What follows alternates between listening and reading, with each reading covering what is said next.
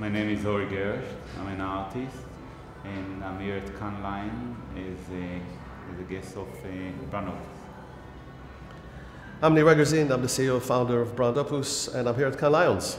Uh, I think most of our communication is, is an art form. We have to understand the way in which art uh, creates and allows to bring images into the world in such a way that have the ability to affect the way in which people understand, relate, and have a relationship with the world. So we have to bring art into the way in which we create images and communications in order to genuinely allow people to have a reference to the brands as uh, into their real world. I think I just believe that um, we constantly searching for new creative ideas because they're so fundamental to our existence and without new creative idea we can never expand and improve our habitat and therefore the consequences could be detrimental to our existence.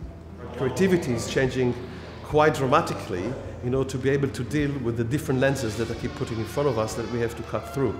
The, our ability to work through the new technology is what's critical because we still have to be able to do the same thing again and again, which is find new ideas to cut through the technology, bypass the lenses, get through the Facebooks of the world into people's heads in order for them to actually consider them as, as things which are real.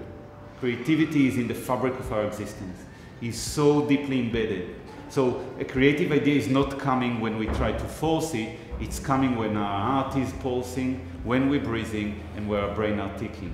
It's the essence of our existence. We need to be able to look at the actuality and the reality of the world and be able to bring images into play and communications into place and stories into place and narratives into play that allow new things to take place in people's heads that allows them to engage in interesting things, allow the brain to engage in things so that we can affect their behavior and, and in a way that they're happy to.